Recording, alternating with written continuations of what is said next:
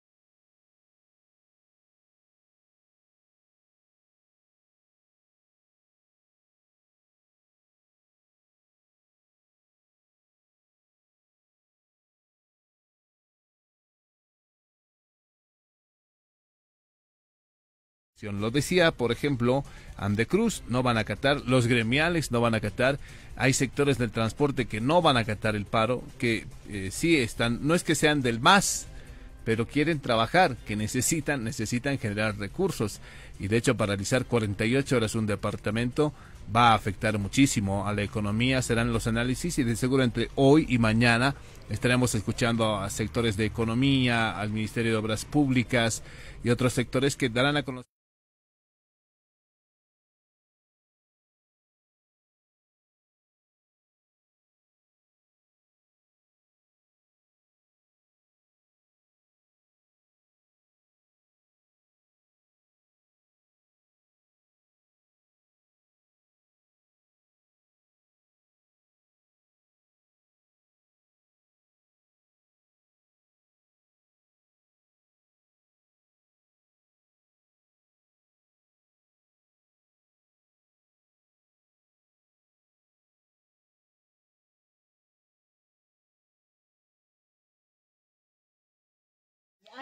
Así es, continuamos con más información a reconocer que la secretaria ejecutiva de la Federación de Sindicatos Médicos de Ramas Afines de la Caja Nacional de Salud, Nancy Pereira, brinda una conferencia de prensa sobre las acciones que van a asumir sobre el atropello que han sufrido tres médicas en el Hospital Obrero. Escuchemos.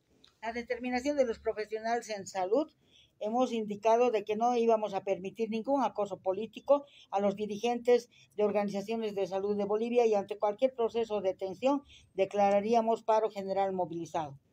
La movilización que vamos a hacer hoy va a ser de los mil servicios en cada una de las regionales y subregionales a nivel nacional, hoy día 4 de agosto del 2022.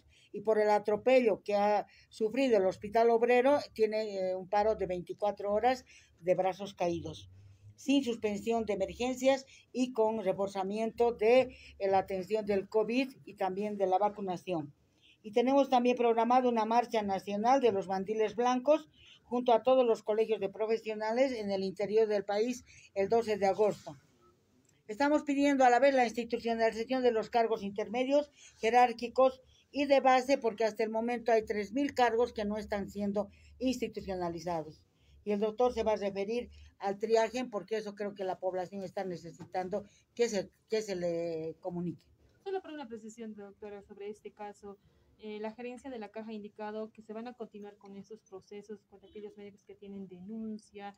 Eh, ¿Qué acciones ante ello van a asumir aparte de esas movilizaciones que van a llegar a Qatar? Bueno, nosotros el día de mañana tenemos un consejo donde van a estar todos los ejecutivos a nivel nacional y ahí tomaremos las medidas que el caso amerite. Sin embargo, creo que la población está eh, en la duda de qué es un triaje y bueno, y hemos escuchado las declaraciones de la Secretaría Ejecutiva de FEDSIMBROS, quien debe conocer sobre esta presión del bloqueo de los mil servicios que están llegando a asumir en esta jornada debido a esta detención que ha sufrido una médica en el Hospital Obrero de La Paz.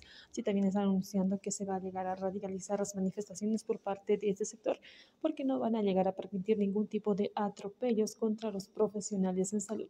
Con este informe y retorno a Estudio Central.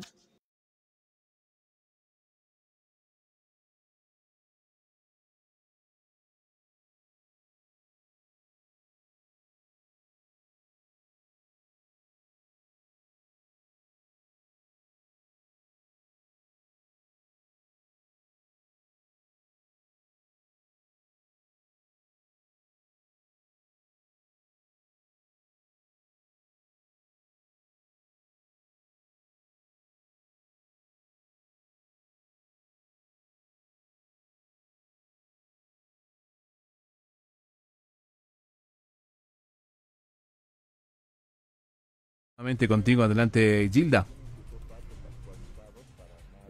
Retornamos con más información desde la ciudad del Alto. El doctor Ramiro Argollo, responsable de epidemiología de Ceres el Alto, informa acerca de casos COVID-19 y su incremento en esta ciudad. Escuchemos. Regional de Salud del Alto a través del CEDES La Paz va a ser el reporte epidemiológico de la situación COVID y vacunación en nuestro municipio. Es que en ese sentido en fecha 3 de agosto hemos tenido confirmados 196 casos, que es este dato estadístico nos preocupa mucho porque es el dato más numeroso que hemos tenido en todo este mes. La anterior semana, ¿se acuerdan que tuvimos 186?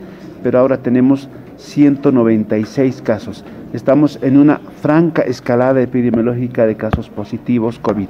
Sin embargo, quiero mencionar de que Fallecidos hemos tenido ceros en esta semana y en este día del 3 de agosto.